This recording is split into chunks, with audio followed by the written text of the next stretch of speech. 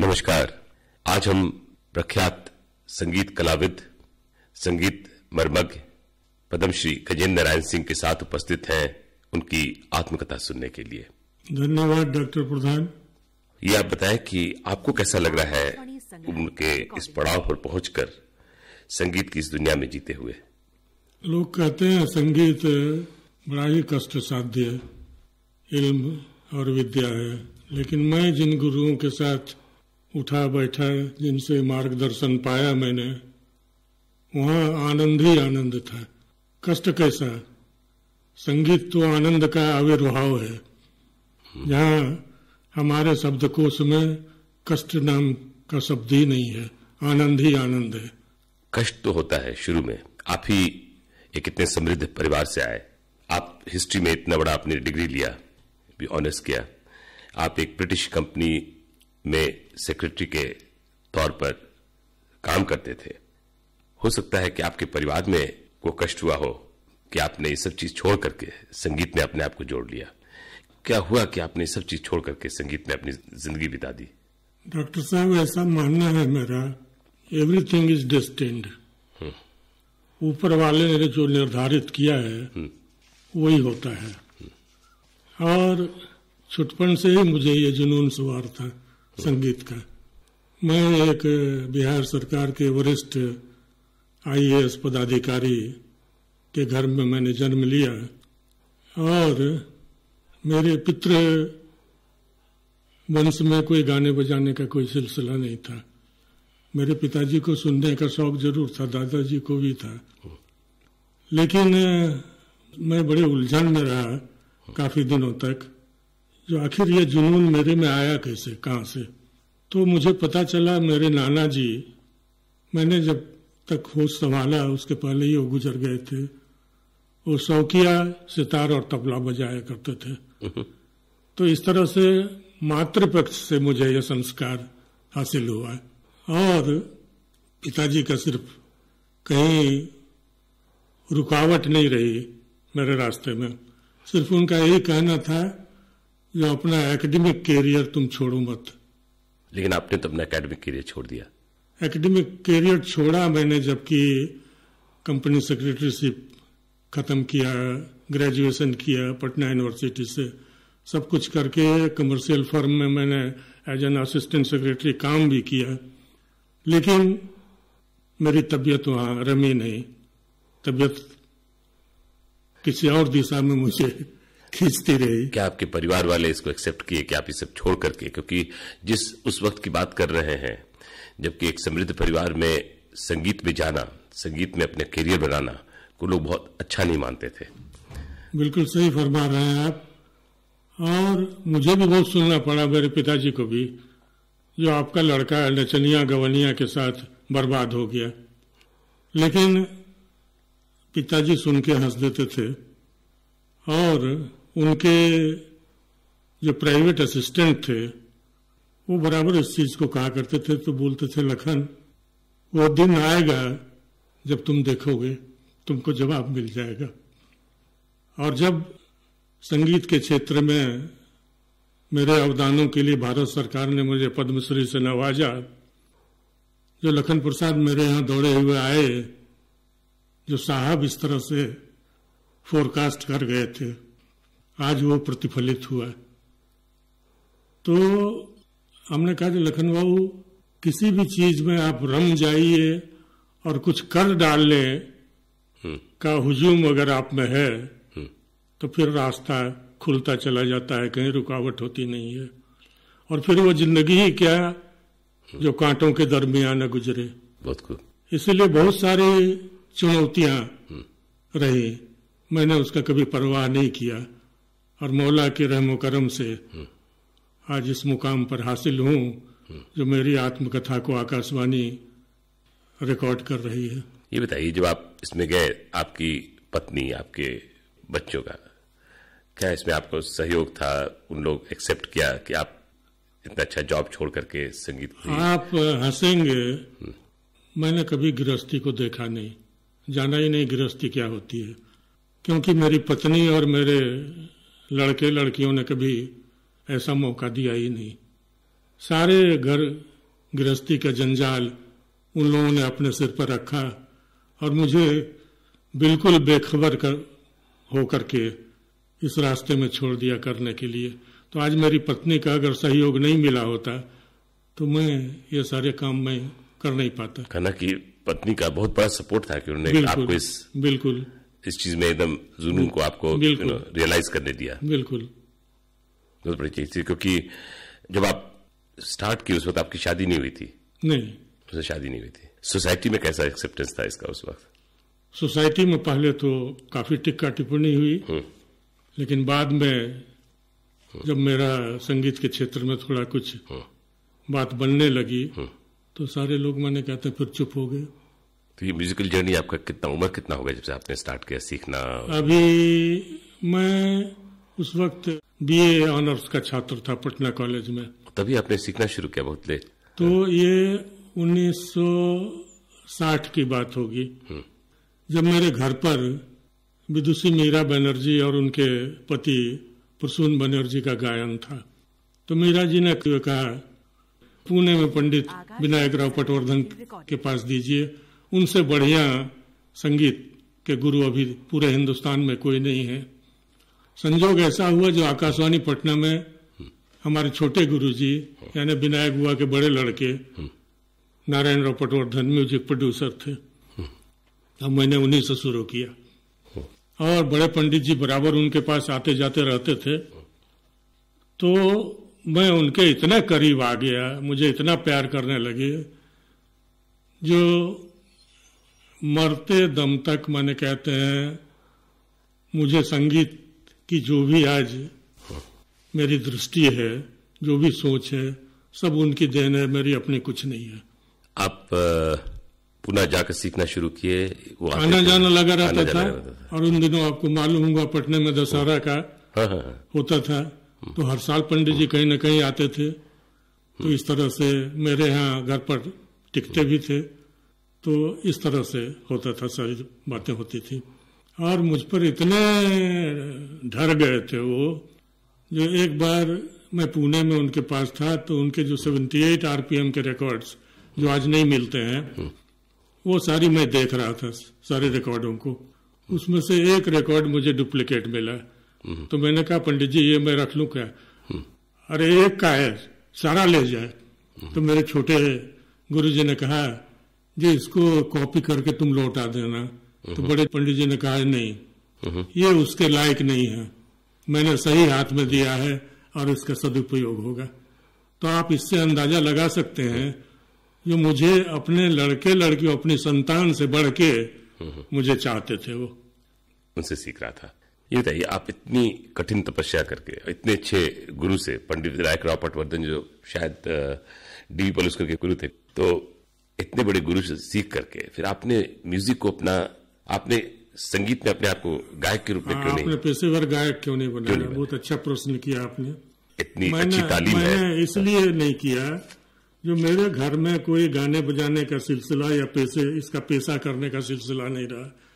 दूसरी बात आपको पता होगा जो समाज में एक वर्ग विशेष हुआ करता था जो गाने बजाने वालों का पोषण करता था। संरक्षण करता था संवर्धन करता था वो वर्ग विशेष खत्म हो गया। तो मैंने देखा जो मैंने कहते हैं जो अगर मैं अपने को एज ए पेशेवर गायक स्थापित करता हूँ तो किसी घरानेदार गवैये का हक मारूँगा मैं जिनके घर में पुष्ट दर पुष्ट से इसका सिलसिला रहा।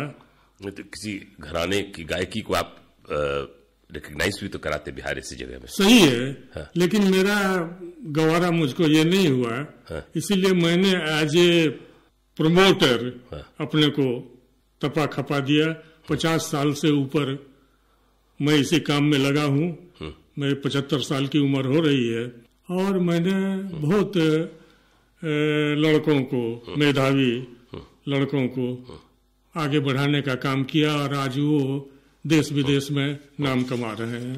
ये बताइए, मुझे जानकारी मिली है कि आपने तो अभी की पीढ़ियों के अलावे इसके दो पहले पीढ़ियों के कलाकारों को भी देखा है, सुना है। बहुत घनिष्ठ क्लोज भी रहे हैं इन लोगों से आप। तो सब लोग ने, चाहे पटना के हो, देश के किसी कोने के हो, सब लोग ने आपकी बहुत ही इज़्ज़त से as a musicologist as music के बहुत बड़े जानकार को तरह से आपको जाना है। हम्म। और आपने भी म्यूज़िक को बहुत ही करीब से देखा है, बहुत ही अच्छे तरीके से आप जानते हैं। ये बताइए कि आज कल के गाने में और पहले के गाने में क्या फ़र्क आपको महसूस होता है? आज का गाना वो ज़्यादा गलाबाजी होता है। हम्म। ज़्यादा गलाबाजी वो हाँ। उस्ताद लोग कहते थे बेटा गले से नहीं रूह से गाओ। तो उस वक्त बहुत दिन लग गए इसको समझने में। तब बाद में मैंने कहते हैं जो रूह से गाओ वो बात क्या होती है? और पंडित मल्लिकार्जुन मंसूर कहा करते थे? जो सा भी लगे तो राग की वर्दी पहन के आवे हम्म, बहुत खूब इसलिए पहले जो गवैये होते थे वो पहला सा लगाते ही राग को खड़ा कर देते थे। रागनी ठड़ी हो जाती थी। अच्छा। आज तो सिर्फ़, लग... सिर्फ़ सांस से कैसे किसी की रागनी पकड़ा जाएगी? यही तो सिफत थी। यही तो सिफत थी। मुश्किल है। काश मैं इसको करके आपको दिखा पाता। लेकिन यही सिफत की बात है। और आज उनको काफ़ी वक्त लग जाता है। आपने जो किताब लिखी है बिहार के संगीत के बारे में, उसके बारे में थोड़ा सा आप मुझे बताएँ। ये लोग मुझसे कहा करते थे जब बिहार की परंपरा संगीत की और बिहार के घराने और बिहार के संगीतकारों की जानकारी मिलती नहीं है। कहीं कोई ऐसा कहीं है नहीं। हम्म, कहीं कोई ऐसा लिखावट में नहीं है ये कुछ नहीं है। तो मुझे बहुत कचोटता था ये बात ये सुन के। तो बहुत सालों में इसके पीछे लगा रहा। और सारी जानकारियों को एकत्रित किया। यहाँ तक कि ये लोग फ़ोटो तक नहीं देते थे। अच्छा। ये हालत मैंने कहते हैं। तो कितने मुश्किल से मैंने कहते हैं फ़ोटो मैंने फोटोग्राफ्स कलेक्ट किया और सारा करके ये सारा बिहार की संगीत परा परंपरा और आपको जान के प्रसन्नता होगी जब भी बिहार की संगीत परंपरा एकमात्र रेफरेंस बुक के रूप में अमेरिका की कोलंबिया यूनिवर्सिटी में वो रिकॉग्नाइज्ड है वो पुस्तक उसकी लाइब्रेरी में है। बहुत अच्छा बहुत ही गर्व की बात है। ये इस किताब को अगर हम लोग भेजें जो भी संगीत से आप यहाँ किसी यूनिवर्सिटी कॉलेज स्कूल में चले जाएँगे बिहार की संगीत परंपरा आपको नहीं मिलेगी।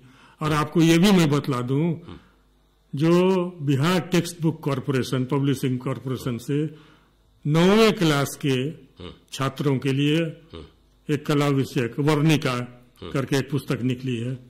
उसमें मेरे बिहार की जो मेरी पुस्तक है संगीत परंपरा उससे संगीत अध्याय ले करके हु बहु छाप लिया है।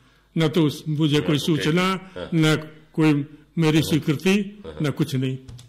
जब मैंने प्रिंसिपल सेक्रेटरी मानव संसाधन विकास को शिक्षा विभाग को मैंने जब बतलाया जो आप लोगों के ऊपर अगर मैं केस करता तो कैसा रहता? लेकिन मैंने केस इसलिए नहीं किया जो मुझे इस बात से आत्मतोष है ये मेरी सामग्री नौवे कक्षा के लड़के लड़कियों को पढ़ाई जा रही है और लाभ मिल रहा है। आपके इतने बड़े म्यूजिकोलॉजिस्ट हैं आपका संगीत लेखन की क्या सार्थकता है? संगीत लेखन की सार्थकता मैं तभी समझता हूँ क्योंकि संगीत लिखने की चीज़ तो है नहीं। ये महसूस करने की चीज़ है। संगीत आप लिखते हैं चाहे जो भी चीज़ लिखते हैं आप इतिहास लिखें संगीत का संस्मरण लिखें विवेचना लिखें समालोचना लिखें जो भी लिखें पढ़ने वाले को उस वही आनंद मिले जो सुनने से मिलता है तभी लिखने की सार्थकता है। और ये अभी जोहरा मेरी किताब निकली तो जितने लोगों ने पढ़ा रायपुर के दो सज्जन ने मुझे फ़ोन किया जो जोहरा है ऐसे ही लगता था जो जोहरा भाई को हम देख रहे हैं और सुन रहा हूँ। हाँ, कल्पित जी ने यही बात कही। हम्म, जो पढ़ के ऐसे लगा गजेंद्र जी आप अजीमाबाद के उस दौर हम्म। से गुजर रहे। संगीत की समीक्षा हो सकती है क्योंकि आप तो एक सफल समीक्षक भी रह चुके हैं। माने जाते हैं इनफैक्ट अभी संगीत की समीक्षा ज़रूर हो सकती है लेकिन समीक्षा शब्द मुझे कुछ अच्छा लगता नहीं है। ये म्यूज़िक क्रिटिसिज्म जो है ये वेस्टर्न कंसेप्शन है कंसेप्ट है। हमारे यहाँ सदियों से संगीत जो है ये इसकी समीक्षा लिखी नहीं जाती रही। जितना गाना बजाना होता था चाहे वो महफिल में हो चाहे जहाँ भी हो बैठकों में हो तो अप्रिसिएशन जो होता था उसके लिए दो लफ्ज थे आह और वाह। तीसरा कुछ नहीं था। आज परिवेश बदल गया है तो तालियाँ बजती हैं। मैं कभी ताली बजाता नहीं हूँ। लोग मुझसे पूछते हैं तो मैंने कहा जो मैं क्रिकेट के मैदान में नहीं बैठा हूँ। गाने के जलसे में बैठा हूँ। जी। और गाने के जलसे में तालियाँ नहीं बजाई जाती है। गाने का जब हम भीतर से खुश होते हैं चाहे भीतर हमारा किसी को सुन के कचोट विदग्ध हो जाते हैं तो हमारे मुँह से वो वाह वाह चाहे आह निकलती है। है? तो वो आह जो निकलती है उसको हम तालियाँ बजा के कैसे एक्सप्रेस कर सकते हैं? वाह वाह को तो आप एक्सप्रेस कर दिया ताली बजा के। लेकिन आ को ताली बजा के तो एक्सप्रेस नहीं किया जा सकता है। तो ये बात है माने कहते हैं हमने कहा अब एक आए थे गाने बजाने वाले गा रहे थे हमने तारीफ़ कर दी जो भाई ख्याल के बाद अब टप्पा सुनाइएगा। टप्पा सुनाया उन्होंने गाना खत्म हुआ। तो उन्होंने कहा जो मैंने गजेंद्र भैया तो सिर्फ़ फरमाइश करते हैं ताली नहीं बजाते हैं। हमने कहा जी भाई आपको मालूम है जो मैं ताली नहीं बजाता हूँ। लेकिन मैंने वाह की लेकिन आपकी नज़र तो तालियाँ गिनने में लगी हुई थी। तो मेरी वाह आप कहाँ से सुन पाते? सही बात तो गाने बजाने वाले जो खास करके जो अपने को घरानेदार कहते हैं वो भी उस तहजीब को भूल गए हैं। हम्म, वो भी उस तहजीब को भूल गए हैं। आपके अच्छा आप वेस्टर्न ये में भी देखेंगे। जो वो जो सुनते हैं इतने अटेंटिवली सुनते हैं वो बीच में कहीं ताली नहीं ताली बजाएँगे। बजाते हैं। जब खत्म हो जाएगा तब उठ के वो ताली बजाएँगे हाँ। ताली बजाते हैं। ये है उनके यहाँ कायदा। आप बता रहे थे कुछ और संगीत की समीक्षा नहीं कर करके आप कुछ और अपने वर्ड यूज़ किया था अभी। हम कहना है जो मैंने कहते हैं जो आप फला का गाना बजाना उसका ओवरऑल इम्पैक्ट लिसनर्स में कैसा रहा? इसको आप बजाते आप लिख सकते हैं? बड़े अच्छे ढंग से लिख सकते हैं।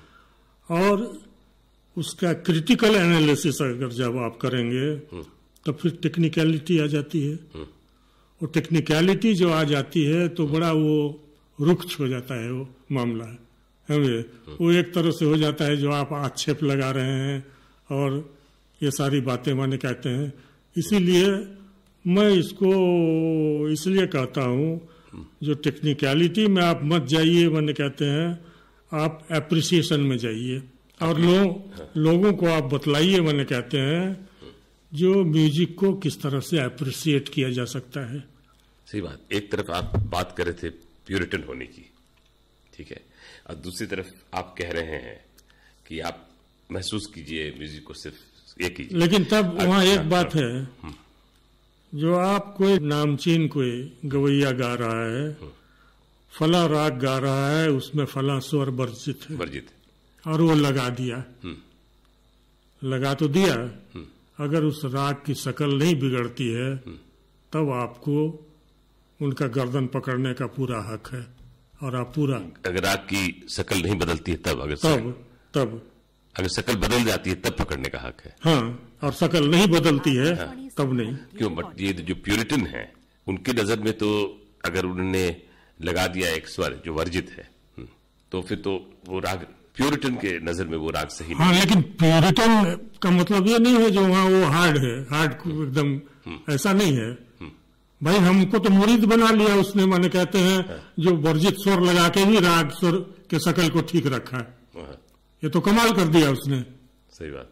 लेकिन अगर कोई सच में उस राग का एकदम परिचय ही आकार ही बदल देता है तब तो उसको तो नहीं नहीं नहीं वो नहीं बख्शा जा सकता है। नहीं बख्शा जा सकता है। वर्जित राग राग में स्वर का वर्जित उसकी चर्चा हो रही थी। तो छपरा कॉन्फ्रेंस में खान साहब बड़े गुलाम अली गा रहे थे। हम मालकंस गा रहे थे उन्होंने कहा कि कहा जो इस राग में पंचम वर्जित है मैं पंचम लगा रहा हूँ और अगर शकल बिगड़ जाए तो आप लोग वहीं रोक देना मुझे। और इस खूबी से वो पंचम लगा गए जो कहीं भी राग भ्रष्ट नहीं हुआ। ये बात जो है सो बड़े पहुँचे हुए जो हैं वही लोग कर सकते हैं और करते थे। मुराद अली खान साहब ने एक पोस्य पुत्र जिसको कहते हैं एक यतीम को हाँ, पोस्य पुत्र अपना बनाया अब्दुल्ला खान जिनके बारे में कुमार बहादुर वीरेंद्र किशोर राय चौधरी जिनको जो बीन बजाते थे और सैनिया मोहम्मद अली खां दबीर खां साहब वज़ीर खां के पोते इन लोगों से उन्होंने बीन सीखा था। और 2000 ध्रुपद की बंद से कंठाग्र थी उनको। अच्छा। और विलायत खां साहब की पैदाइश वो गौरीपुर मैमन खां जो कि अब बांग्लादेश है वहीं के जमींदार थे बीरेंद्र किशोर राय चौधरी। वहीं विलायत खां साहब का जन्म हुआ। और कलकत्ते में विलायत खां साहब को एक घर ही दिया उन्होंने। जिस रास्ते पर वो घर है उसका इनायत खां साहब के नाम पर वो अच्छा। सड़क है। वो बीरेंद्र किशोर राय चौधरी का दिया हुआ है जिसमें विलायत खां साहब भी रहे। इमरत भी आते हैं तो वहीं रहते हैं। उनके लड़के वगैरह सब वहीं रहते हैं। तो मैंने दबीर खां साहब को बीन बजाते तो नहीं सुना लेकिन गाते हुए सुना मैंने ध्रुपद।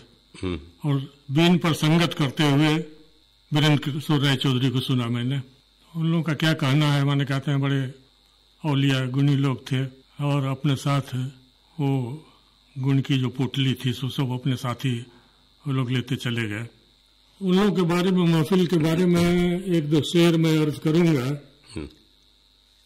कि दागे फिरा के सोहबतें सबकी जली हुई एक सम्मा रह गई सो अभी खामोश है।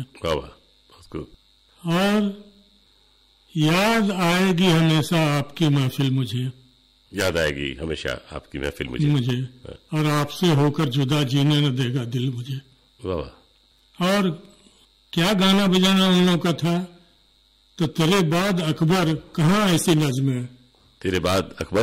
कहाँ ऐसी नज़में कहाँ ऐसी नज़में हाँ? वह दिल ही न होंगे जो ये आह निकले। वाह वो दिल ही न होंगे जो यहाँ निकले। तो दिल को बहलाने के अफसाने तो हैं। तू नहीं है तेरे तराने तो हैं। बहुत खूब। तुम नहीं है तो तेरे तराने तो है। वेरी नाइस और उन गाने बजाने वालों पर गालिब क्या कहते हैं? हम्म, ये भी सुन लीजिए बलाए जहाँ है गालिब। बुलाए जा है गालिब। उनकी हर बात।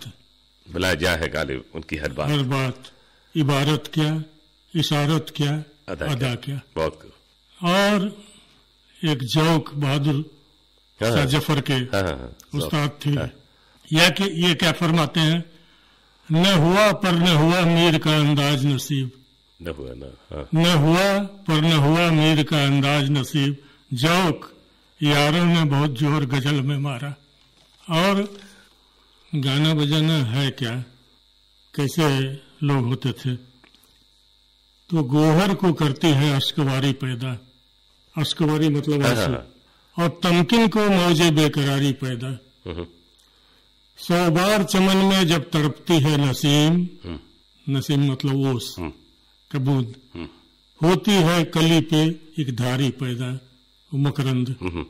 एक चीज़ बताइए कि जैसे आपने कहा ना कि रिकॉर्डिंग नहीं थी संगीत बहुत लोग सिखाए नहीं कुछ लोग कुछ तो अभी भी है म्यूजिशियन से मान लीजिए जो कर किसी को शिष्य नहीं बनाई किसी को सिखाया नहीं अपनी चीज़ अपने पास रख कर ले गए।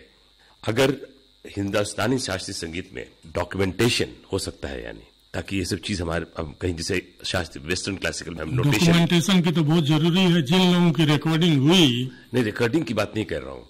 नोटेशन से पेपर्स पर जैसे वेस्टर्न क्लासिकल म्यूज़िक को आप रखते हैं हिंदुस्तानी शास्त्रीय म्यूज़िक को आप नोटेशन पर आप पेपर पर कर सकते हैं कि हाँ नहीं वो नहीं हो सकता है क्योंकि इसकी कुछ ऐसी बारीकियाँ हैं जिसका नोटेशन हो नहीं सकता है। जी। असंभव है। जी। बहुत हद तक पलुस्कर जी ने। भातखंडे जी ने कोशिश की नोटेशन की लेकिन वो सारी चीज़ों की पूर्ति नहीं हो सकी। मीड क्या है? मीर जो है वो बहुत सारे राग हैं जो मीर प्रधान है। हम्म, हम्म, वो रागों का विस्तार मीर से ही होता है। मीर घसीट बोलते हैं उसको। सुर को माने कहते हैं मीर सूत।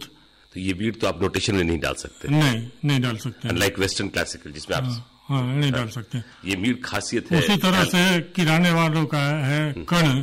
कण हाँ। उसका भी नोटेशन नहीं हो सकता है। कण का भी नहीं हो सकता। उसी तरह से है गमक। हम्म, उसको भी नोटेशन नहीं कर सकते हैं। तान वगैरह को तो नोटेशन में ला सकते हैं आप। तान में तो बहुत आसान है नोटेशन में तो ताल में भी बहुत सारी चीज़ें हैं जो नहीं हो सकती है नोटेशन और अब जैसे शमसुद्दीन खां तो बोलिए थे अब्दुल करीम खां साहब के।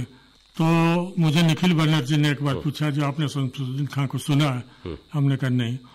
तो हीराबाई बड़ोदकर का एलपी डिस्क है ईमन का। उसमें शमसुद्दीन खां है ठेका लगाए हैं। जरा सुनिएगा उसको। हम्म, तो शमसुद्दीन खां साहब का तबला गाता था। हम्म, इतना सुर में बजता था। हम्म, और उसके बाद दूसरा तबला फिर करामत खां साहब का ही साबिर के। हम्म हम्म। तो इस तरह की बातें थी। आपको कौन कौन सी रागें पसंद है जिसमें बचपन से राग फेवरेट राग सबका होता है?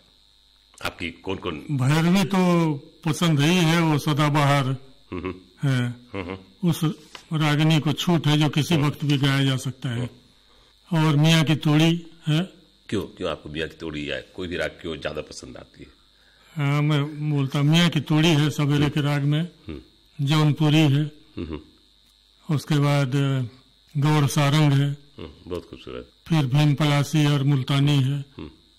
फिर भू- पूरिया है। हाँ, हाँ, इमन है। हाँ, श्री है।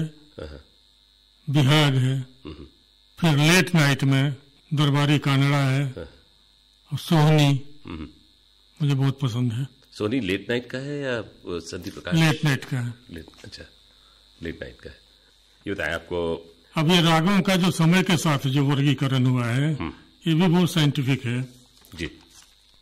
कुछ नोट जो है सर्टेन पीरियड में वो कान को अच्छा लगता है। हम्म, जैसे कर्नाटक संगीत में भी समय का था विधान।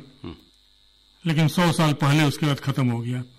तो एक बार बंगलोर में स्पीक पैके का था कन्वेंशन उसमें एक साउथ इंडियन वीणा बजा रहे थे सावेरी तो बोले this is morning melody hmm. इसका हिंदुस्तानी में जोगिया तो जब खत्म हो गया तो हमने उनको कहा जो आपके यहाँ तो समय का कोई प्रावधान नहीं है आपने मॉर्निंग में भी क्यों कहा? तो उन्होंने कहा देर आर सर्टिन रागाज जो कि उस वक्त में बजाने पर ही सुनने में अच्छा लगता है। हाँ, लेकिन ऐसा भी तो हो सकता है कि संगीत में इतनी जोड़ हो कि अगर आप आप बागेश्वरी सुबह बजा दीजिए तो सुबह शाम हो जाए।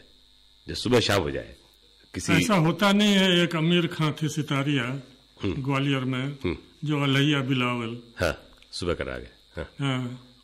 और शाम में मैंने कहते हैं जब बजाया हाँ।